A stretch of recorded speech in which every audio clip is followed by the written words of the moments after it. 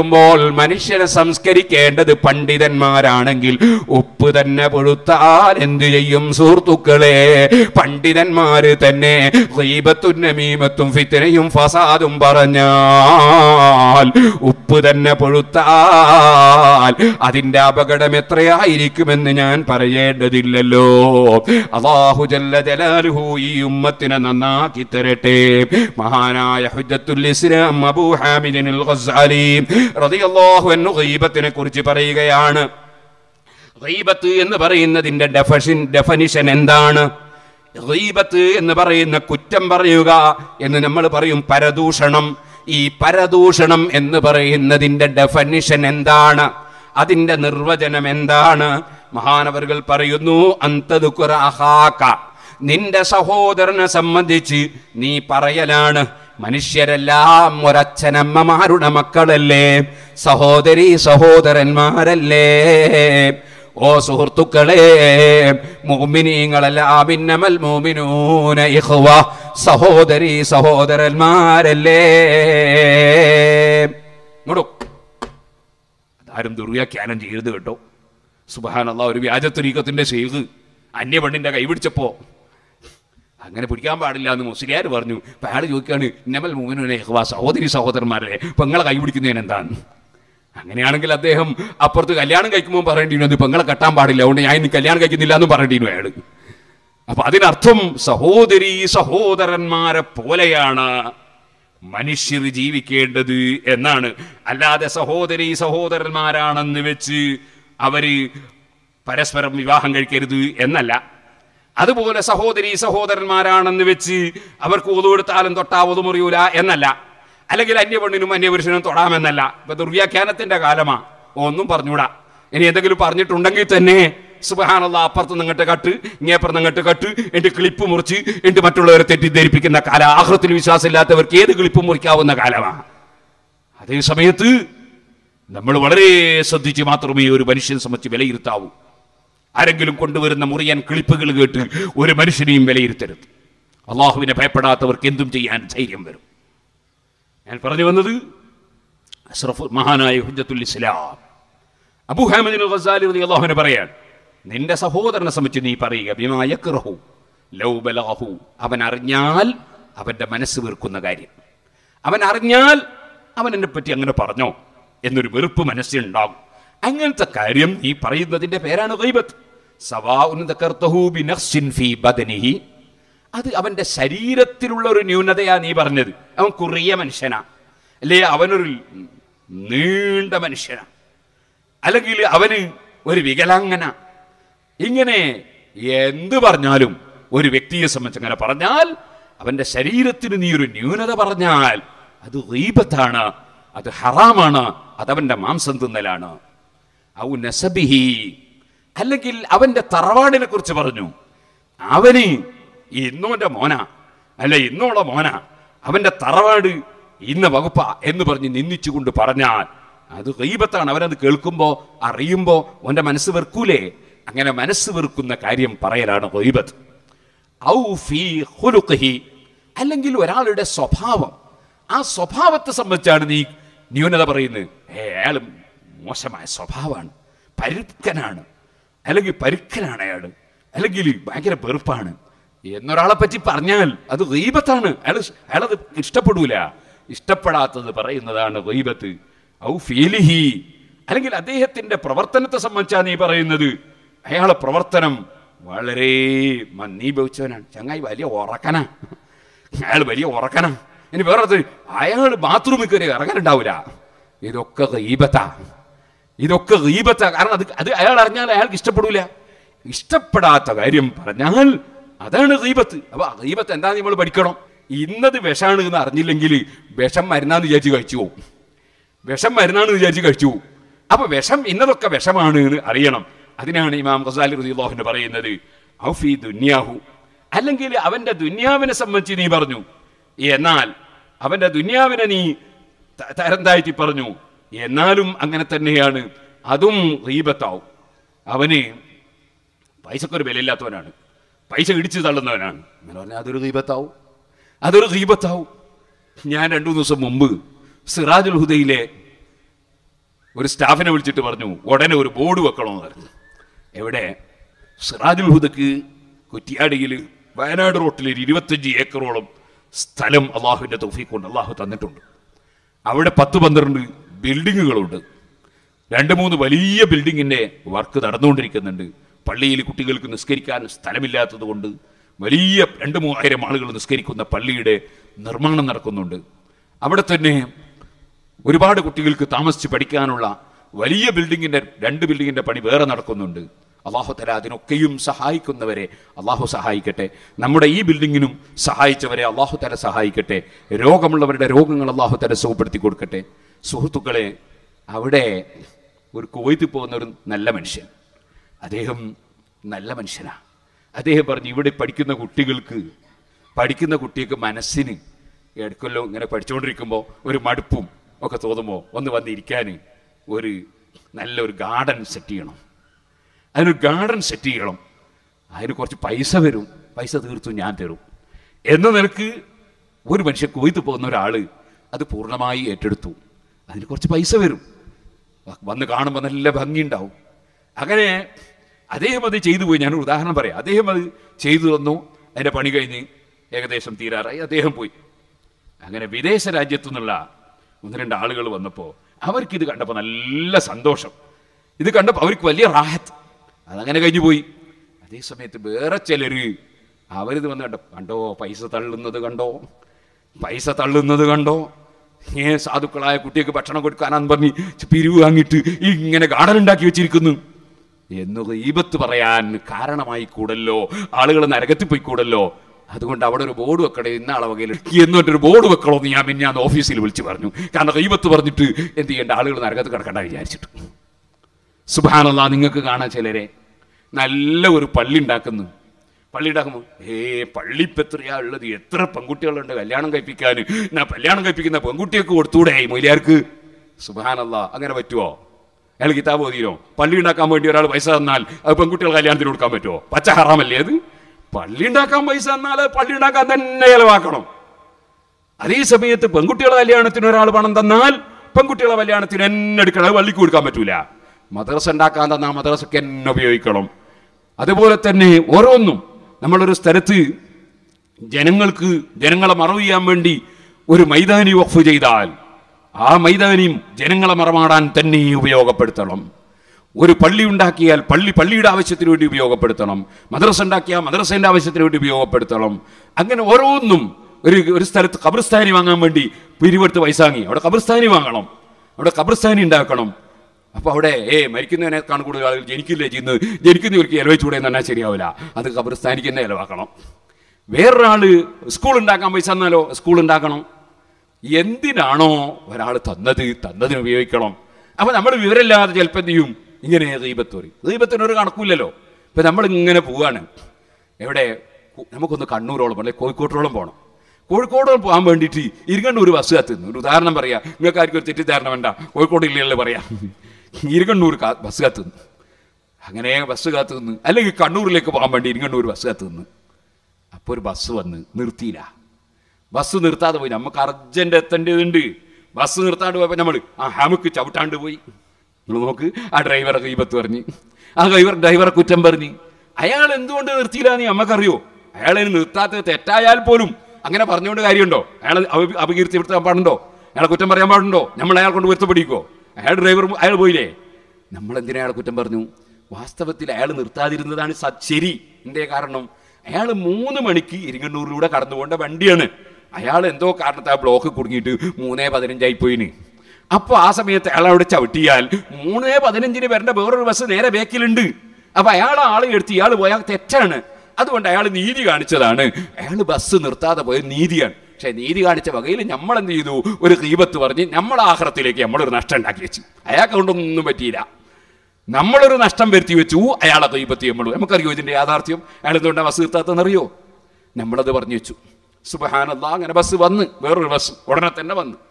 Bus വന്നു ആ ആ ഹമക്ക് നിർത്തിയില്ലെങ്കിലും ഈ ഹമക്ക് നിർത്തിയത് ഈ ഡ്രൈവർ കേൾക്കാതെ വേണമെങ്കിൽ അങ്ങ് പറഞ്ഞ് ഇന്നാലില്ല അങ്ങനെ പറയാൻ പാടുണ്ടോ? ഇവനൊരു ഉപകാരം ചെയ്ത വകയല്ല ഇപ്പൊ ഹമക്ക് എന്ന് വിളിച്ചത് നമ്മുടെ ഹാൽ നമ്മുടെ അവസ്ഥയാണ് ഞാൻ പറയുന്നത്. അങ്ങനെ ഈ ബസ് നിർത്തി നിർത്തി ഇവനെ കയറ്റി ഒരു ഉപകാരം ചെയ്ത വകയിലും അവന് കുറ്റം പറഞ്ഞു. മനുഷ്യന്മാരോട് സ്ഥിതി പറയാ ഞാൻ അങ്ങനെ ബസ് നിർത്തി ഇവൻ കയറി കയറിയപ്പോ ഇവനെ കയറിയെടുത്ത് അവിടെ നിന്നു. കണ്ടക്ടർ കുറേ പറഞ്ഞു കുറച്ച് മുന്നോട്ട് മുന്നോട്ട്. എത്ര പറഞ്ഞിട്ടു. അതിന്റെ ബാക്കിയുള്ളവർക്ക് മുന്നോട്ട് പോയാൽ ഇവന്റെ ന്യായമാണ് ബാക്കിയുള്ളവർക്ക് എന്താ മുന്നോട്ട് പോയാൽ എന്നോട് എന്നെ പറയണോ നിങ്ങൾ അങ്ങനെ എല്ലാവരും പറഞ്ഞാൽ ഈ കണ്ടക്ടർ എന്താ ചെയ്യുക ഒരു സഹകരണ മനസ്ഥിതി ഉണ്ടാകണ്ടേ മനുഷ്യന്? ബാക്കിയുള്ളവരെ കാര്യം നമ്മളെന്തിനു പറയണമെന്ന് നമുക്കൊന്ന് മുന്നോട്ട് പോയിക്കൂടെ?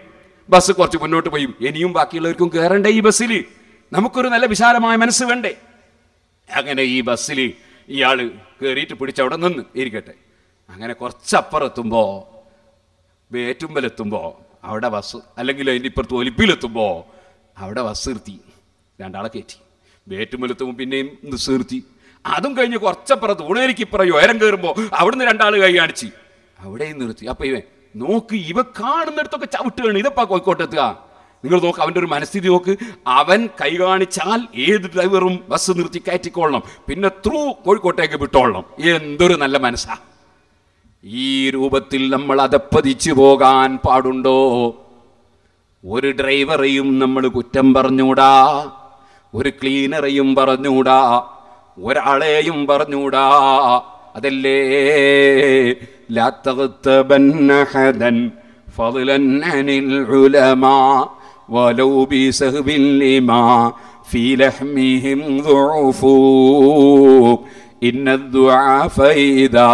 تغتبن أحدا فضلا عن العلماء ولو بسهب لما في لحمهم ضعف إن الضعاف إذا ما كنت تأكله ولو بجهل جرى في نفسك التلف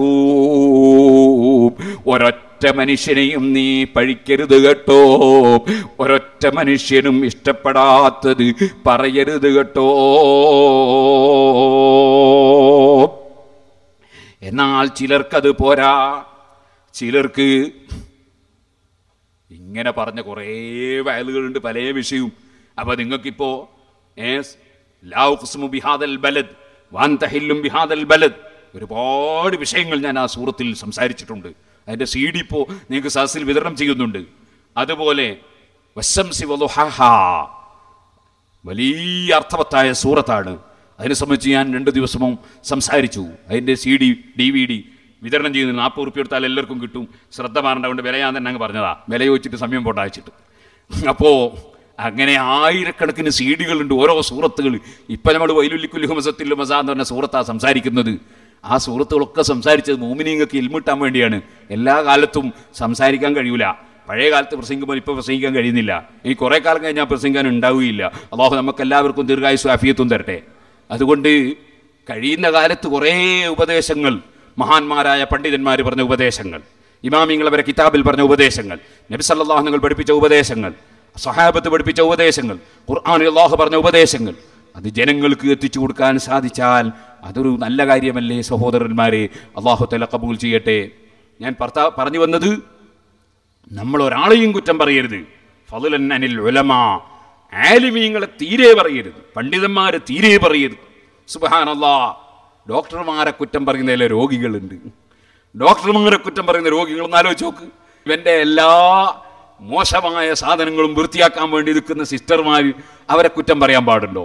എന്നാൽ പിന്നെ ഈ സിസ്റ്റർമാർക്ക് ഇവന്റെ ആരോഗ്യം രക്ഷപ്പെടുത്താൻ വേണ്ടി എല്ലാ പരിശോധനയും നടത്തിയിട്ട് ചികിത്സ പറഞ്ഞു കൊടുത്ത ഡോക്ടറെ കുറ്റം പറഞ്ഞാൽ എടാ നീ നാളെ മുതൽക്ക് പഞ്ചസാരയുള്ളതൊന്നും കഴിക്കണ്ട എന്ന് പറയുമ്പോൾ ഡോക്ടറോട് വെറുപ്പ്. ആ ഹമക്കെന്റെ പഞ്ചാര മുടക്കുകയാണ് ഇന്നാലില്ല നീ പഞ്ചസാര ഇട്ട് കുടിച്ച അവനെന്താ?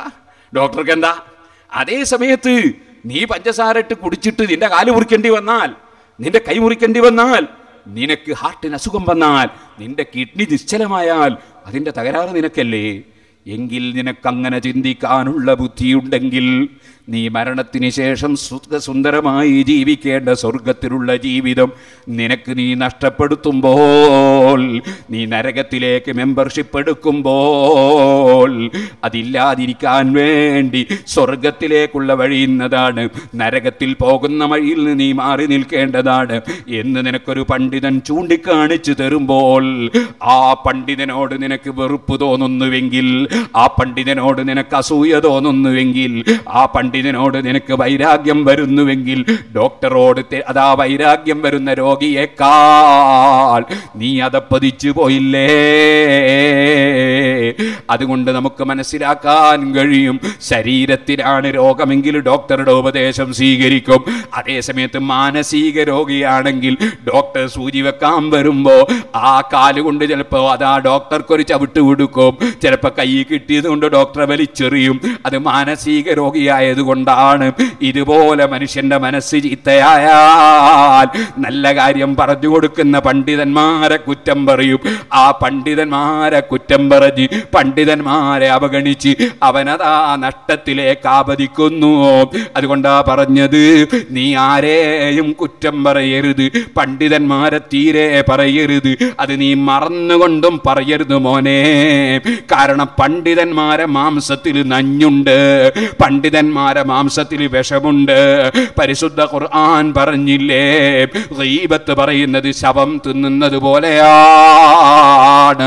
അപ്പൊ ശവം തിന്നുമ്പോൾ നീ തിന്നുന്നത് വിഷമുള്ള ശവമാണെങ്കിൽ അത് നിനക്ക് മരണത്തിന് തന്നെ നിമിത്തമല്ലേ? ഇതുപോലെ നിന്റെ ഈമാൻ നഷ്ടപ്പെട്ടു പോകാൻ ആലിമീങ്ങളെ കുറ്റം പറയുന്ന നാവാണ് നിനക്കുള്ളതെങ്കിൽ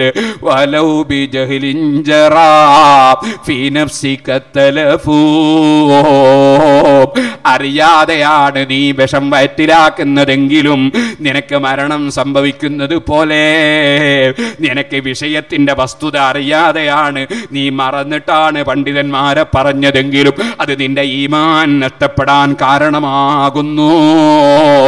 അതുകൊണ്ട് നീ ഒരാളെയും കുറ്റം പറയണ്ട. പണ്ഡിതന്മാരെ മാംസം കൊണ്ട് നീ നീ നീ തീരെ കളിച്ചു പോകണ്ട. സുഹൃത്തുക്കളെ ബക്കറ്റും കൊണ്ടുവരും നിങ്ങളൊക്കെ നല്ല സംഭാവന കൊടുക്കണം. ഇന്നലെ പുരുഷന്മാരോട് ബക്കറ്റ് സംഭാവന വാങ്ങിയില്ല. ഇന്ന് വലിയ സമ്മേളനം കഴിച്ചിട്ടും ബക്കറ്റ് ഒരു സംഭാവനയും വാങ്ങിയില്ല. ഞാൻ പറഞ്ഞ ഇരുപത്തഞ്ച് കൊല്ലത്തിൽ ആദ്യത്തെ ചരിത്രമാണ്. സംഭാവന ആകാത്ത സമ്മേളനം. പക്ഷെ അതൊക്കെ ശരിയാ. ഇനിയിപ്പോൾ എത്ര പൈസ കൊടുക്കേണ്ടി വരിക? ഈ മൈക്കാരൊക്കെ വെറുതെ ഫ്രീ ആയിട്ടാണോ എന്ന് എനിക്കറിയില്ല. ഈ പന്തലിന് എത്ര സംഖ്യ കൊടുക്കേണ്ടി വരും? മൈക്കിൽ എത്ര സംഖ്യ കൊടുക്കേണ്ടി വരും? ഈ പരിപാടിക്ക് എത്ര സംഖ്യ ചെലവ് വരും? അതുകൊണ്ട് നല്ല സംഭാവന കൊടുക്കണം. ഞാൻ വരുമ്പോൾ അലഹമില്ല പതിനയ്യായിരം റുപ്യ ഒരു സെന്റിന്റെ സംഖ്യ തന്നു. അള്ളാഹു സുബാനഹുവ താല അവർക്ക് സ്വർഗത്തിൽ സ്ഥലം കൊടുക്കട്ടെ. അലഹമില്ല അതുപോലെ പലരും തരുന്നവരും തന്നവരും നിങ്ങളൊക്കെ തരണം. ഒരു പതിനയ്യായിരം റുപ്യ എന്ന് പറഞ്ഞാൽ ഇപ്പം ചെറിയ പൈസയാണ് പതിനയ്യായിരം റുപ്യക്ക് ഒരു സെന്റ് ഭൂമി ഇവിടെ കിട്ടൂല ഇപ്പം കിട്ടൂല. പക്ഷേ വാങ്ങുന്ന സമയത്ത് അന്ന് പതിനയ്യായിരമാണ് കൊടുത്തത്. ഞാൻ അതേ ചോദിക്കുന്നുള്ളൂ കൂടുതൽ ചോദിക്കുന്നില്ല.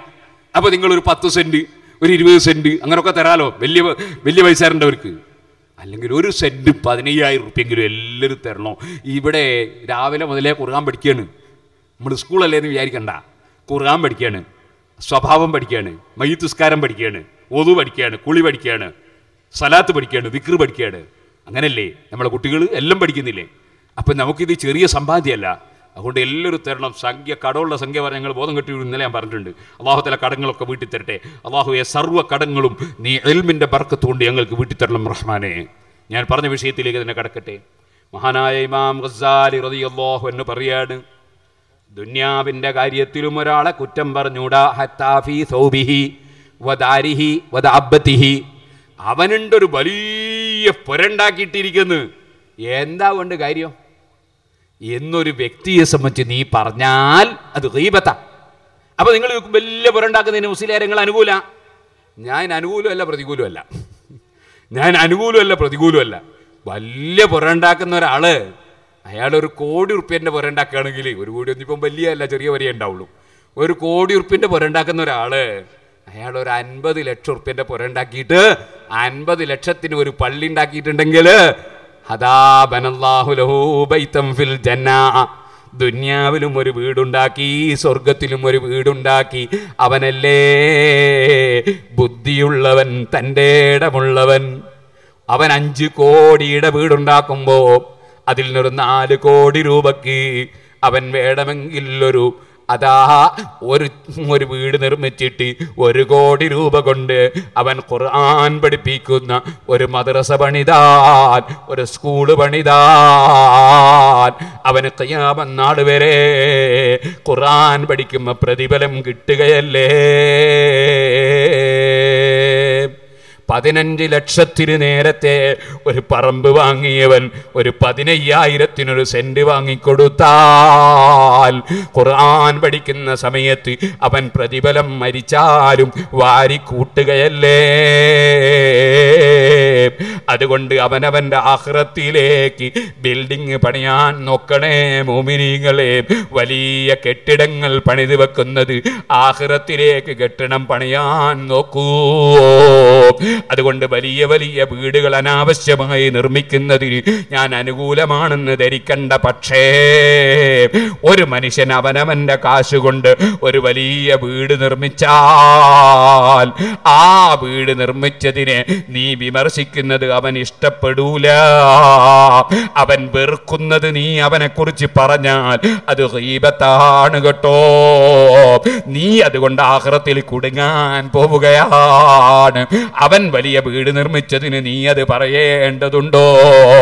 ഇനി നിനക്കാ മനുഷ്യൻ അത്ര വലിയ വീട് നിർമ്മിച്ചതിൽ സംതൃപ്തിയില്ലെങ്കിൽ നീ ആ വീട് നിർമ്മിക്കുന്ന സമയത്ത് അവനെ സ്വകാര്യം വിളിച്ചിട്ട് മോനെ നീ ഇത്ര വലിയൊരു വീട് നിർമ്മിച്ചിട്ട് എന്താ കാര്യം?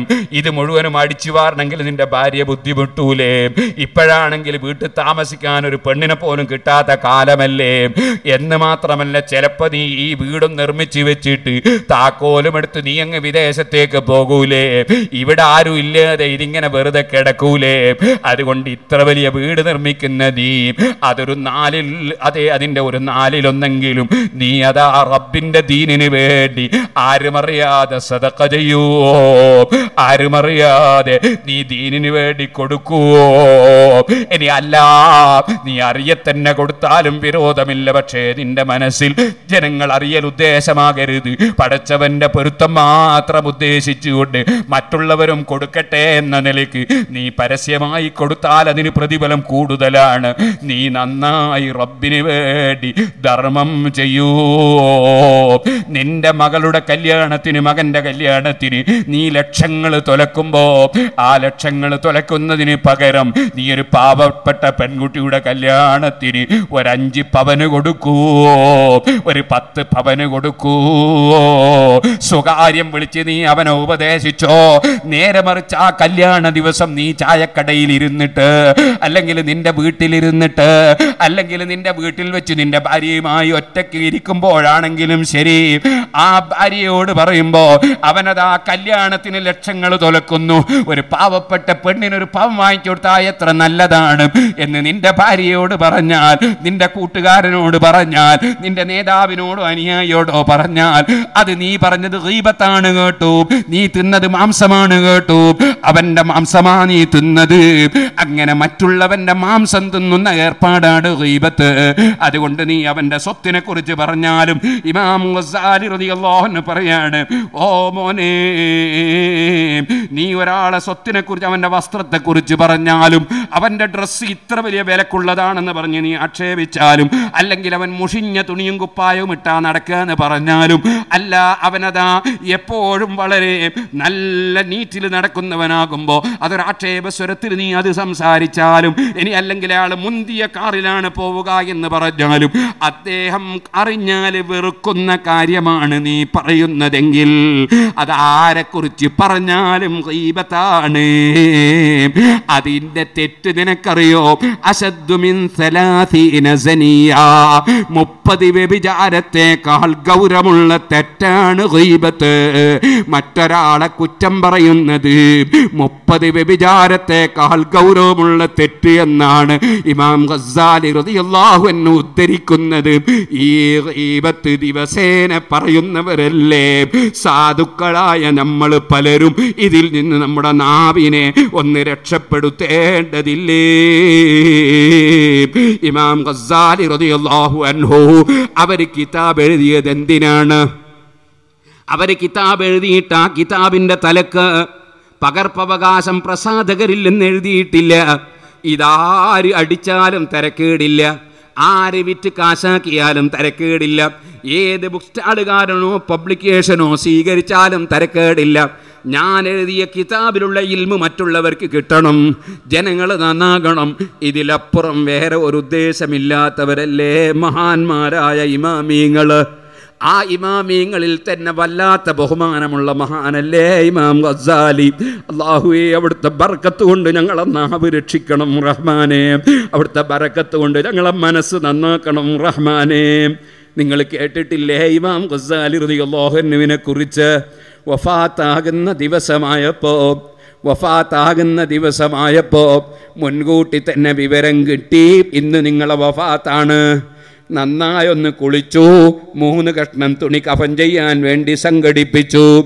സഹീഹുൽ ബുഹാരി എടുത്തുകൊണ്ട് വന്നു. നെഞ്ഞിലേക്ക് കൂട്ടിപ്പിടിച്ചു. കഫൻ തുണി കൊണ്ട് മൂന്ന് കഷ്ണം തുണി കൊണ്ട് ശരീരമങ്ങ് പുതച്ചു. അങ്ങനെ ഒരൊറ്റ കിടത്തമാണ്. മർഹബ അഹിലം വസഹ്ല മലക്കുൽ മൗത്തിനെ സ്വാഗതം ചെയ്ത് കിടക്കുകയാണ്. ആ കിടത്തത്തിൽ ഇമാം ഹുജ്ജത്തുൽ ഇസ്ലാം അബൂ ഗസ്സാലി റളിയല്ലാഹു അൻഹു വഫാത്താവുകയാണ്. പടച്ച റബ്ബേ ഞങ്ങളെ പള്ളികളും ഞങ്ങളെ മദ്രസകളും ഞങ്ങളെ സ്ഥാപനങ്ങളും ഞങ്ങളെ സംഘടനകളും ഞങ്ങളെ വയലുകളും ഞങ്ങളെ സദസ്സുകളും ഞങ്ങളെ എല്ലാ കാര്യങ്ങളും ഞങ്ങളെ സദക്കകളും ഞങ്ങളുടെ എല്ലാ പ്രവർത്തനങ്ങളും ഞങ്ങളെ ഈ സദസ്സും ഞങ്ങളെ ആക്രിബത്ത് നന്നായി മരിക്കാനുള്ള വഴിയായി നീ കബൂൽ ചെയ്യണേ റഹ്മാനേ. സുഹൃത്തുക്കളെ സാലിഹീങ്ങൾ ഔലിയാക്കൾ ആരിഫീങ്ങൾ അവർ അവരുടെ ആക്കിബത്ത് നന്നാകാൻ വേണ്ടി ശ്രമിച്ചു. അവർ സ്വർഗം സമ്പാദിക്കാൻ വേണ്ടി ശ്രമിച്ചു. അവർ അള്ളാഹുവിന്റെ പൊരുത്തത്തിന് വേണ്ടി ശ്രമിച്ചു. കയ്യാമത്ത നാൾ വരെയുള്ള ജനങ്ങൾക്ക് ആവശ്യമായ എല്ലാ ഉപദേശങ്ങളും എല്ലാ നിർദ്ദേശങ്ങളും ആ ഇമാമീങ്ങൾ ലോകത്തിന് മുമ്പിൽ ഒരു ആകാശ പ്രതിഫലം പ്രതീക്ഷിക്കാതെ എന്റെ ചെറുപ്പക്കാരി ചിന്തിക്കണം. ഇമാം ഗസാലി തങ്ങൾ ഹിയാഉലൂമുദ്ദീൻ എഴുതുമ്പോൾ അന്ന് കത്തിക്കാൻ ഒരു ബൾബില്ല അന്ന് കരണ്ടില്ല. അല്ലേ? അന്ന് കത്തിക്കാൻ ഒരു ബൾബില്ല. ഇന്നത്തതുപോലെ സൗകര്യമുള്ള പേനയില്ല. ഇന്നത്തുപോലെ കമ്പ്യൂട്ടറിൽ അടിച്ചു കയറ്റാൻ കഴിയില്ല. ഇന്നത്തതുപോലെയുള്ള അച്ചുകൂടങ്ങളില്ല. അന്ന് അതാ ഒരു ചെറിയ കലമ് അത് കുപ്പിയിൽ മുക്കിയിട്ട് എഴുതുന്ന കാലമാണ്. അതും വെറും തിരിവ വിളക്ക് കത്തിച്ചെഴുതുന്ന കാലമാണ്. ആ കാലഘട്ടത്തിലുള്ള സമയം മുഴുവനും അള്ളാഹുവിന്റെ ദീനിവിടെ നിലനിർത്താൻ വേണ്ടി എത്രയെത്ര ഗ്രന്ഥങ്ങൾ എത്ര ആയിരക്കണക്കിന് ഉറുപ്പിയക്കിന് വിലയുള്ള ലക്ഷക്കണക്കിന് ഉറുപ്പിയക്ക് വിലയുള്ള ഗ്രന്ഥങ്ങളാണ് മഹാന്മാരായ ഇമാമീങ്ങൾ എഴുതിയത്. ആ ഇമാമീങ്ങളെ തള്ളിപ്പറയുന്ന പുത്തൻവാദിയേക്കാൾ പടച്ച റബ്ബിന്റെ അടുക്കൽ പരാജയപ്പെട്ടവരുണ്ടോ. സുഹൃത്തുക്കളെ ഹുജ്ജത്തുൽ ഇസ്ലാം അബൂ ഗസ്സാലി റളിയല്ലാഹു തആല അൻഹു തങ്ങൾ അവിടുന്ന് പറയാണ് ഒരു മനുഷ്യന്റെ വാഹനം ഒരു മനുഷ്യന്റെ വസ്ത്രം ഒരു മനുഷ്യന്റെ വീട് ഒരു മനുഷ്യന്റെ ഏത് കാര്യത്തെ സംബന്ധിച്ചും നീ അവൻ ഇഷ്ടപ്പെടാത്തത് പറഞ്ഞാൽ അത് ഗീബത്തിന്റെ ഇനത്തിൽപ്പെട്ടതാണ് നീ ഗീബത്ത് പറഞ്ഞ് നരകത്തിലേക്ക് പോകല്ല. കൂട്ടത്തിൽ എത്രത്തോളം പറഞ്ഞു എന്നറിയോ? അവൻ കോങ്കണ്ണനാണ് എന്ന് പറഞ്ഞ ഗീബത്ത. അവൻ വികലാംഗനാണ് എന്ന് പറഞ്ഞ ഗീബത്ത. ഒരാളെ സംബന്ധിച്ച് പറയുമ്പോൾ ഒരു വ്യക്തിയെക്കുറിച്ച് പറയുമ്പോൾ ഒരു വ്യക്തിയെക്കുറിച്ച് അങ്ങനെയൊന്നും പറയാൻ പാടില്ല. അതേ സമയത്ത് ഇനിയൊരു അത്യാവശ്യത്തിന് പറയേണ്ടി വന്നാൽ തന്നെ എന്തുപയോഗിക്കണം? വികലാംഗൻ എന്ന് പറയുന്നതിന് പകരം ഭിന്നശേഷിയുള്ള ആൾ എന്ന് പറയണം. ഭിന്നശേഷിയുള്ള ആൾ എന്നാൽ നമ്മക്കുള്ള കഴിവല്ല അയാൾക്ക് വേറൊരു കഴിവാണ്. അപ്പോൾ കണ്ണ് കണ്ടുവിടാത്ത ആൾ കാത് കെട്ടുവിടാത്ത ആൾ സംസാരത്തിന് കഴിയാത്ത ആൾ അയാളൊരു ഒരു പൊട്ടനാണ് എന്ന് പറയരുത്. അയാൾ ഭിന്നശേഷിയുള്ള ആളാണ്. അതും പറയേണ്ടി വന്നാലേ പറയാവൂ. ആവശ്യമില്ലെങ്കിൽ പറയരുത്. ആവശ്യം അത്യാവശ്യം വന്നാൽ ഇപ്പോൾ ഒരു മസ്കലയോട് മസ്കല ചോദിക്കണം. അയാൾക്ക് സംസാരിക്കാനാവുമല്ലോ ഉസ്താദെ? അയാളെ നിക്കാഹ് മോളെ നിക്കാഹ് എങ്ങനെ ചെയ്യാം? അവിടെ മസ്കല ചോദിക്കാൻ വേണ്ടി പറയാതിരിക്കാൻ നിർവൃത്തിയില്ലല്ലോ അതുപോലെ അല്ലെങ്കിൽ ഒരു പാവപ്പെട്ട ഒരു ഭിന്നശേഷിയുള്ള ഒരാൾക്ക് ശാരീരികമായി പ്രയാസമുള്ള ഒരാൾക്ക് നമ്മളൊരു കലക്ഷൻ നടത്തുകയാണ്. അയാൾക്കൊരു വീടുണ്ടാക്കാൻ. അപ്പോൾ ഞാൻ ഒരു ആരോഗ്യമില്ലാത്ത ഒരു ഭിന്നശേഷിയുള്ള അല്ലെങ്കിൽ ഒരു വൈകല്യമുള്ള ഒരാൾക്ക് ഒരു വീടുണ്ടാക്കാനാണ്. എന്ന് പറഞ്ഞാൽ അത് ദീപത്തല്ല അതങ്ങനെ പറഞ്ഞിട്ട് അദ്ദേഹത്തിന് സംഖ്യ സ്വരൂപിച്ച് അയാൾക്ക് വൃത്തക്കേടൊന്നും ഉണ്ടാവില്ല. അതേ സമയത്ത് അദ്ദേഹം വെറുക്കുന്ന നിലയ്ക്ക് ഒരു മനുഷ്യനെ സംബന്ധിച്ചും ശരീരത്തിന് കുറ്റം പറഞ്ഞൂടാ അവൻ അവൾ കറുത്തവളാണ് എന്ന് പറഞ്ഞാൽ? അവൻ കറുത്തവനാണ് എന്ന് പറഞ്ഞാൽ? അത് ദീപത്താണ് അവൻ ഇഷ്ടപ്പെടാത്തതാണ്. പറയാൻ പാടില്ല. ഇനി ഒരു മനുഷ്യനെ സംബന്ധിച്ച് വെളുത്തവനായതുകൊണ്ട് വെള്ളൂരി എന്ന് പറഞ്ഞാലോ? അങ്ങനെയുണ്ടല്ലോ ചിലർ ഒരാളെ പറ്റി എന്തെങ്കിലും കൂട്ടി അങ്ങോട്ട് വിളിക്കും. കടുത്ത ഹറാമാണ്. വിളിക്കാൻ പാടില്ല. വസാലിമാമറിന് വിശദീകരിക്കുന്നത് ഞാൻ വളരെ ചുരുക്കി പറയാൻ. മഹാനവറുകൾ പറഞ്ഞു ഒരാൾ കഷണ്ടി ഉണ്ടെങ്കിൽ കഷണ്ടിക്കാരനാണെന്ന് പറയാൻ പാടില്ല. നീളമുണ്ടെങ്കിലും നീളം നീളമുള്ളവനാണ് എന്ന് പറഞ്ഞാൽ അദ്ദേഹത്തെ ആക്ഷേപിക്കാൻ പാടില്ല. അങ്ങനെ തുടങ്ങിയിട്ട് മഹാനവറുകൾ പറഞ്ഞു ഒരു മനുഷ്യനെ സംബന്ധിച്ച് അദ്ദേഹം ഒരു കടലോര പ്രദേശത്ത് ജീവിക്കുന്നതിനായതുകൊണ്ട് അവൻ കടപ്പുറക്കാരനാണ് എന്ന് പറഞ്ഞാൽ അത് ഹീബത്താണ് അങ്ങനെ പറയാൻ പാടില്ല. ഇമാം ഖസാലി റളിയല്ലാഹു പറയാണ് അങ്ങനെ തുടങ്ങിയിട്ട് ഉദാഹരണമാണ് ഞാൻ പറഞ്ഞത്. ഇതുപോലെ ആ മനുഷ്യന് തമ്മാടിയാണ് എന്ന് പറഞ്ഞാൽ അത് ഹീബത്താണ് അങ്ങനെ തുടങ്ങിയിട്ട് അയാൾ അടിച്ചു വരുന്ന ആളാണ്. എന്ന് പറഞ്ഞാൽ അത് ഹീബത്താണ് അയാൾ അടിച്ചു വരുന്ന ആളായിക്കോട്ടെ പക്ഷെ നിന്നോട് പറയാൻ പറഞ്ഞിട്ടില്ല. നീ അത് പറയാൻ പാടില്ല.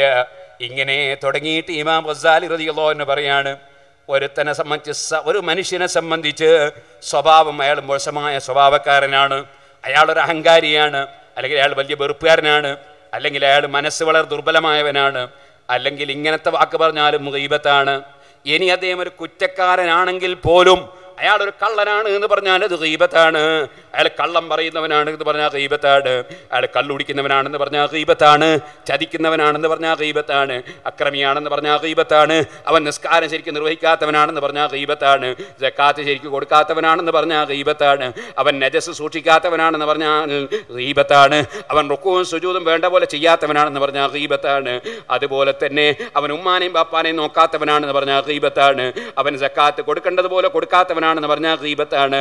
അങ്ങനെ തുടങ്ങിയിട്ട് അവൻ അവന്റെ നോമ്പ് നോറ്റിട്ട് എന്തും പറയുന്നവനാണെന്ന് പറഞ്ഞാൽ ഗീബത്താണ്. അങ്ങനെ തുടങ്ങി ഇമാം ഗസാൽ എന്ന് പറഞ്ഞതിന്റെ അർത്ഥമാണ് ഞാൻ നോക്കി ഇങ്ങനെ പറയുന്നത്. ഒരു മനുഷ്യന്റെ ദീനിൽ കുറ്റം പറഞ്ഞാൽ അതും ഗീബത്താണ്. അപ്പം നിങ്ങൾ ചോദിക്കും കള്ളുടിക്കുന്നവനെ പറ്റി എന്താ പറയേണ്ടത്? നിങ്ങളൊന്നും പറയണ്ട.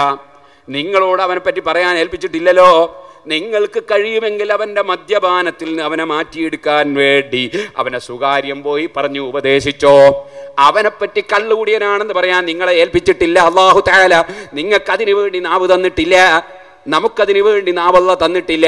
അതുകൊണ്ട് ഒരു വ്യക്തിയെ സംബന്ധിച്ച് അവൻ കള്ളുകുടിയനായാൽ പോലും കള്ളുകുടിയനാണെന്ന് പറയാൻ പാടില്ല.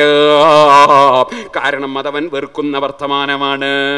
എരിയും ഇമാം ഖസാലി റളിയല്ലാഹു പറയാണ് ദുന്യാവിനോട് ബന്ധപ്പെട്ട വിഷയമാണ്. അവൻ അതമില്ലാത്തവനാണെന്ന് പറഞ്ഞാൽ അത് ഹീബത്താണ് മനുഷ്യന്മാരെ നിന്ദിക്കുന്നവനാണെന്ന് പറഞ്ഞാൽ അത് ഹീബത്താണ് അവന് മറ്റുള്ളവരോടുള്ള കടപ്പാടിനെ കുറിച്ച് ബോധമില്ലാത്തവനാണെന്ന് പറഞ്ഞാൽ ഹീബത്താണ് അങ്ങനെ തുടങ്ങി എത്രയധികം. ഔ അന്നഹു കഥീറുൽ കലാമി. അവൻ കുറെ കൂടുതൽ സംസാരിക്കുന്നവനാണെന്ന് പറഞ്ഞാൽ അതൊരു ഹീബത്താണ് അതുപോലെ തന്നെ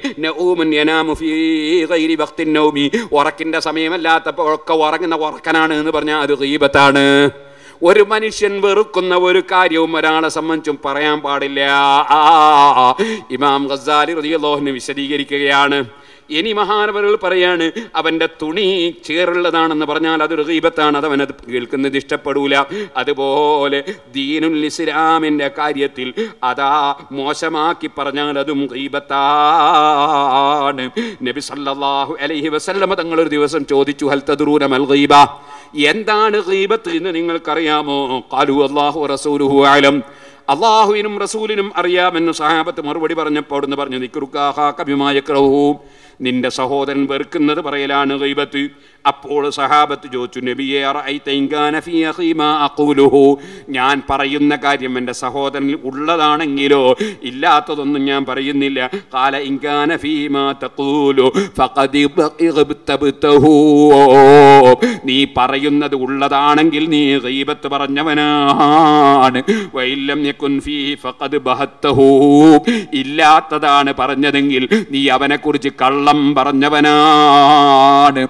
ഉള്ളത് പറയുന്നതിന്റെ പേരാണ് റീബത്ത് ഇല്ലാത്തത് പറയുന്നതിന്റെ പേര് കളവ് പറയുക എന്നാണ്.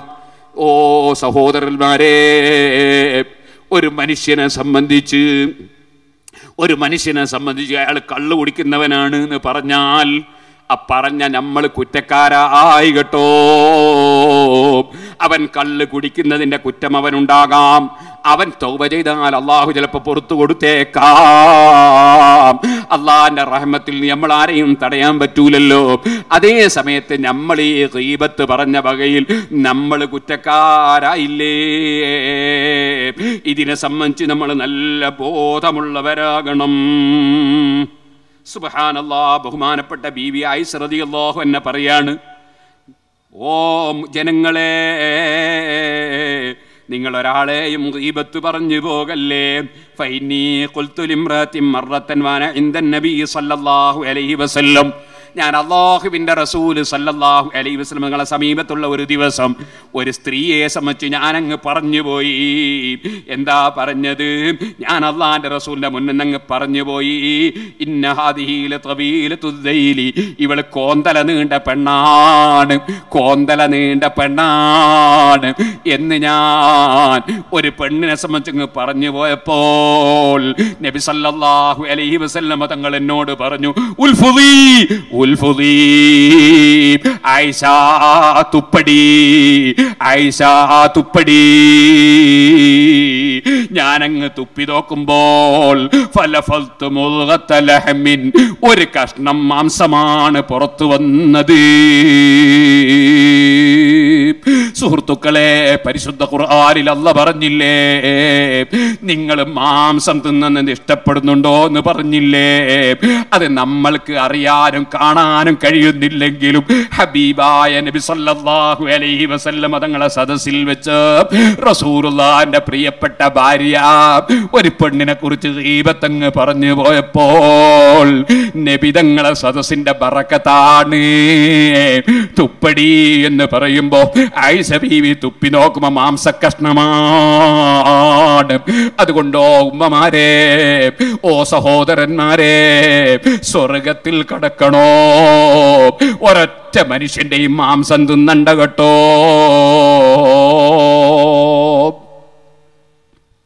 സുബാനല്ലോ നാവ് കൊണ്ട് പറയരുതെന്ന് മാത്രമല്ല ഇമാം ഗസാലി റളിയല്ലാഹു പറയാണ് കൈകൊണ്ട് ചൂണ്ടിയാലും കണ്ണടിച്ച് സ്വീപ്പാക്കിയാലും കണ്ണടിച്ച് കുറ്റം പറഞ്ഞാലും ചൂണ്ടിയാലും എഴുതിയാലും ചലിച്ചാലും ഒരു മനുഷ്യന്റെ അതേ കോലത്തിൽ പ്രസംഗിക്കുന്ന മുസ്ലിയാരെ പരിഹസിച്ചിട്ട് അതേ കോലത്തിലൊന്ന് നടിച്ചാൽ അതേ അതുപോലെ തന്നെ വേറെ ഒരാളെ പരിഹസിച്ചിട്ട് അദ്ദേഹത്തിന്റെ നടത്തം ഒന്ന് നടന്നാൽ അതെല്ലാം ഈനത്തിൽപ്പെട്ടത് തന്നെ.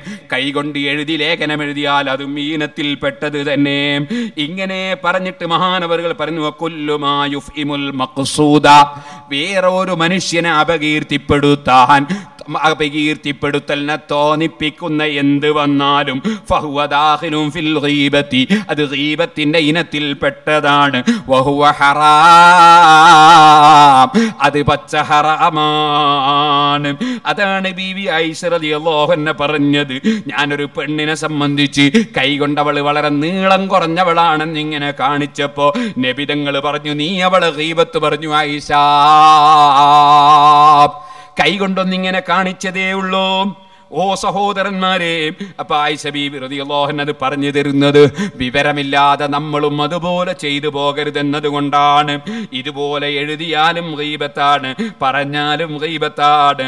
അങ്ങനെ തുടങ്ങി ഇമാം ഗസാലി റതിയല്ലാഹു അൻഹു അതിങ്ങനെ വിശദീകരിക്കുകയാണ്. എന്നിട്ട് മഹാനവറുകൾ പതിനൊന്ന് കാരണങ്ങൾ ഗീബത്തിലേക്ക് മനുഷ്യനെ എത്തിക്കുന്ന പതിനൊന്ന് കാരണങ്ങൾ പറഞ്ഞു. സോഷ്യൽ മീഡിയകളുടെ കാലമാണ്. സോഷ്യൽ മീഡിയകളിൽ പലർക്കും പരിപാടി തന്നെ മറ്റുള്ളവരുടെ റീബത്ത് കാണിക്കലും കേൾപ്പിക്കലുമാണ്. സുബഹാനല്ലാ ഒരു കയ്യിൽ നൂൽ പിടിച്ച് മന്ത്രിക്കുന്ന മുസ്ലിയാര് ഇടത്തെ കയ്യിൽ അദ്ദേഹത്തിന് കിട്ടിയ ചായയുടെ ഗ്ലാസ് പിടിച്ചാൽ അയാൾ ഇടത്തെ കൈ കൊണ്ട് ചായ കുടിച്ചു എന്ന് അതാ കമന്റ് എഴുതിയിട്ട് അതെങ്ങനെയുണ്ട് വാട്സപ്പിലിട്ട് ജനങ്ങൾ ദൈവത്ത് പറയിക്കാനെന്ന് ചിന്തിക്കുന്നവരില്ലേ? സുബഹാനല്ലാ കിടന്നുകൊണ്ട് നബി സല്ലല്ലാഹു അലൈഹി വസല്ലം തങ്ങൾ ദിക്റ് ചൊല്ലിയിട്ടുണ്ട്. പരിശുദ്ധ ഖുർആനിൽ തന്നെ യദ്കുറൂനല്ലാഹ ഖിയാമം വഖുഊദം വലാ ജുനൂബിഹിം. എഴുന്നേറ്റ് നിന്നും ഇരുന്നും കിടന്നും ദിക്റ് ചൊല്ലുന്നവരെന്ന് പറഞ്ഞിട്ടുണ്ട്. ഒരു പണ്ഡിതൻ കിടന്ന സ്ഥലത്ത് നിന്ന് ഖുർആൻ ഓതിയാൽ അല്ലെങ്കിൽ അതാ കിടന്നിട്ട് ദിക്റ് ചൊല്ലിയാൽ പണ്ഡിതനെ പരിഹസിച്ച് അതേ വാട്സപ്പിൽ ഇടുന്നവരില്ലേ? നരകം വിലക്ക് വാങ്ങുന്നവരില്ലേ? അങ്ങനെ പണ്ഡിതന്മാരാകട്ടെ നേതാക്കളാകട്ടെ ഏത് വ്യക്തികാകട്ടെ ഒരാൾ വെറുക്കുന്ന കാര്യം പറഞ്ഞാൽ അത് വാട്സപ്പിൽ ഇട്ടാൽ അത് എഴുതിയാൽ അത് ചിത്രമെടുത്ത് പുറത്തിട്ടാൽ അതെല്ലാം ഗീബത്താണ് കേട്ടോ ഹറാമാണ് കേട്ടോ നരകത്തിലേക്ക് ഓടിയെടുക്കുകയാണ് കേട്ടോ. ഗീബത്ത് പറയാൻ മനുഷ്യന് പ്രചോദനം നൽകുന്ന പതിനൊന്ന് കാരണങ്ങൾ ഇമാം ഖസാലി തങ്ങൾ എണ്ണുന്നു. അതിനുശേഷം ആ പതിനൊന്ന് കാരണങ്ങൾക്കുമുള്ള അതിന്റെ ചികിത്സയും പറയുന്നു. ആ രോഗം എനിക്കുണ്ടോ എന്ന് ഞാൻ ചിന്തിക്കണം. നിങ്ങൾക്കുണ്ടോ എന്ന് നിങ്ങൾ ചിന്തിക്കണം. ഇമാം ഗസാലി റളിയല്ലാഹു പറയുന്നു ഒന്നാമത്തേത്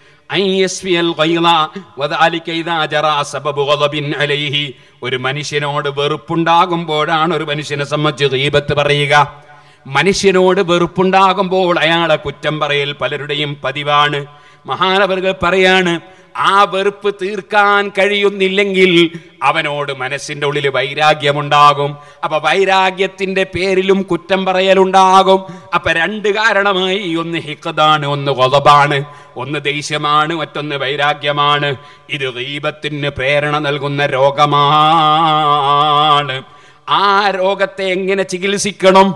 നമ്മുടെ മനസ്സിന് ചികിത്സിക്കണമല്ലോ. നമ്മുടെ മനസ്സിന്റെ രോഗത്തിന് ചികിത്സിക്കണമല്ലോ. നമ്മുടെ ആത്മാവിന് ചികിത്സിക്കണമല്ലോ. അതെങ്ങനെ ചികിത്സിക്കണം? ഇമാം ഗസാലി നിങ്ങൾ പറഞ്ഞു ആ രോഗം നമ്മുടെ മനസ്സിൽ നിന്ന് നീങ്ങാനുള്ള ചികിത്സ.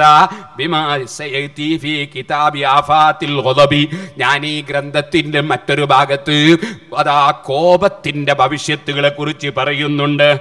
അവിടെ അതാ വിശദമായി പറയുന്നുണ്ട്. ഇപ്പൊ ചുരുക്കി പറയാം. നീ നീതാ നീ നിന്റെ മനസ്സിൽ ആലോചിക്കണം. ഞാനിപ്പോൾ എന്റെ വെറുപ്പ് തീർക്കാൻ വേണ്ടി അവനെ കുറ്റം പറഞ്ഞാൽ ഫല അവന്റെ കുറ്റം പറഞ്ഞതുകൊണ്ട് അള്ളാഹു അവന്റെ കോപം എന്റെ മേലെ നടപ്പാക്കി എന്ന് വരും. കാരണം ഇതിന് ഹാനി അൻഹാ. എന്നെ അല്ല വിരോധിച്ചതാണ് മറ്റൊരുത്തന്റെ കുറ്റം പറയുന്നത്. എന്നെ പടച്ച് എനിക്ക് വെള്ളം തരുന്ന ഭക്ഷണം തരുന്ന രാജാവായ അല്ല വിരോധിച്ച കാര്യം ഞാൻ അവനോടുള്ള വെറുപ്പ് തീർക്കാൻ വേണ്ടി ചെയ്താൽ അല്ല തടഞ്ഞിട്ട് ആ തടഞ്ഞതിന് ഞാൻ വില വെക്കാതിരുന്നാൽ എന്നോട് റബ്ബ് അവന്റെ വെറുപ്പ് തീർത്താലോ എന്ന് നീ ചിന്തിക്കണേ മോനെ വഖദ് ഖാല റസൂൽ പറഞ്ഞിട്ടുണ്ട് ഇന്നലി ജഹന്നമ ബാബൻ. നരകത്തിനൊരു ഗേറ്റ് ഉണ്ട് ലാ യദ്ഖുലു മിൻഹു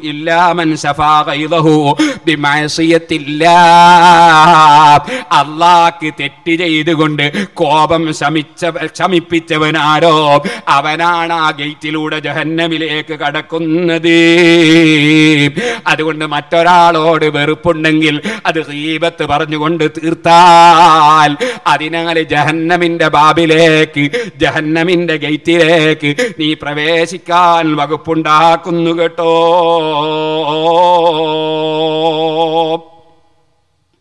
അപ്പൊ നീ എന്താ വേണ്ടത്? നിന്റെ വെറുപ്പ് മൂടി വെക്കണം മൻ കളമ ഖൈലൻ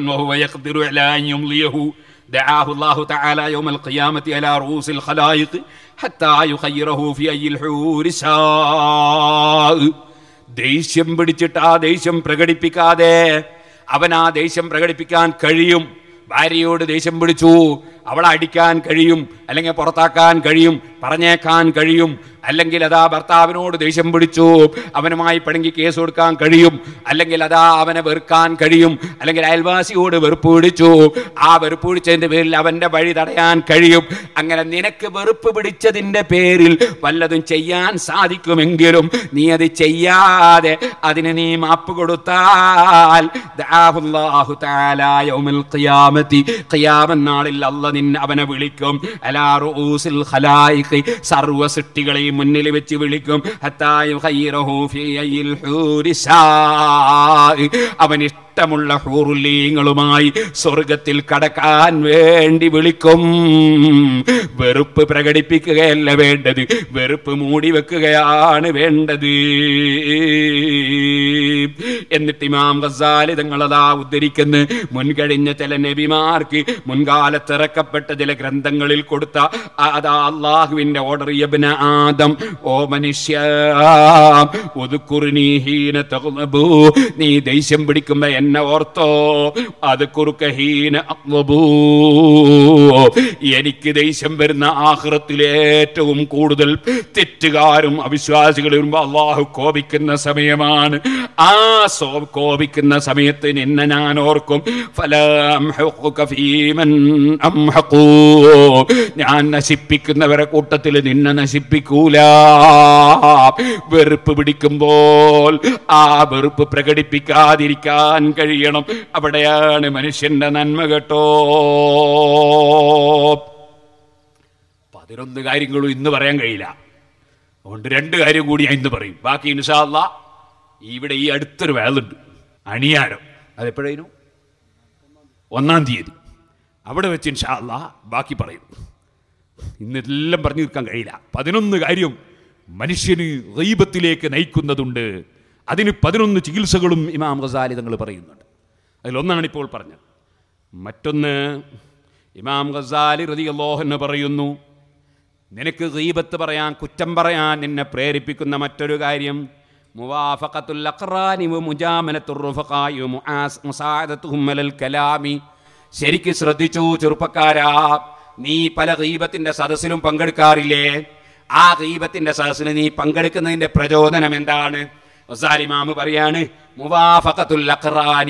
അവന്റെ കൂട്ടുകാരോട് യോജിക്കുകയാണ് റുഫഖായി. സ്നേഹിതന്മാരെ സോപ്പിടുകയാണ് കലാമി. അവരെ സംസാരത്തിൽ അവരോട് സഹകരിക്കുകയാണ്. എന്തേ കാരണം? ഒരു കൂട്ടർ ഇരുന്നിട്ട് നീ ഒരു പാർട്ടിക്കാരനാണ്. ഏത് പാർട്ടിയായാലും തിരക്കേടില്ല. ആ പാർട്ടിയിലുള്ള ആളുകൾ കുത്തിരുന്നിട്ട് വേറൊത്തന്റെ കുറ്റം പറയാണ് അല്ലെങ്കിൽ നീ ഒരു സംഘടനക്കാരനാണ്. നിന്റെ സംഘടനയിലുള്ള ആളുകൾ ഇരുന്നിട്ട് വേറൊരു സംഘടനക്കാരനെ കുറ്റം പറയാണ്. അങ്ങനെ കുറ്റം പറയുമ്പോൾ നിനക്ക് തോന്നുന്നു ഞാൻ അവിടെ എഴുന്നേറ്റ് പോയാൽ ഇവരൊക്കെ എന്റെ എതിരാളിയാവൂലേ? ഇവരെല്ലാം ഇനി എന്നെ അവരിൽ നിന്ന് ബഹിഷ്കരിക്കൂലേ? ഇവരൊക്കെ എന്റെ കല്യാണം ബഹിഷ്കരിക്കൂലേ? അല്ലെങ്കിൽ എന്റെ വേറെ എന്തെങ്കിലും പരിപാടി ബഹിഷ്കരിക്കൂലേ? ഇവരൊക്കെ എന്റെ വിരോധിയാകൂലേ? അതുകൊണ്ട് ഇപ്പൊ ദീപത്ത് പറയുന്ന സദസ്സിൽ ഞാനും അവിടെ ഇരിക്കട്ടെ. ഞാനും അവിടെ തന്നെ ഇരുന്ന് അവരെ കൂടെ ഞാനും സംസാരിക്കട്ടെ എന്ന് നിന്നെ ശൈത്താൻ തോന്നിപ്പിക്കും. മനുഷ്യ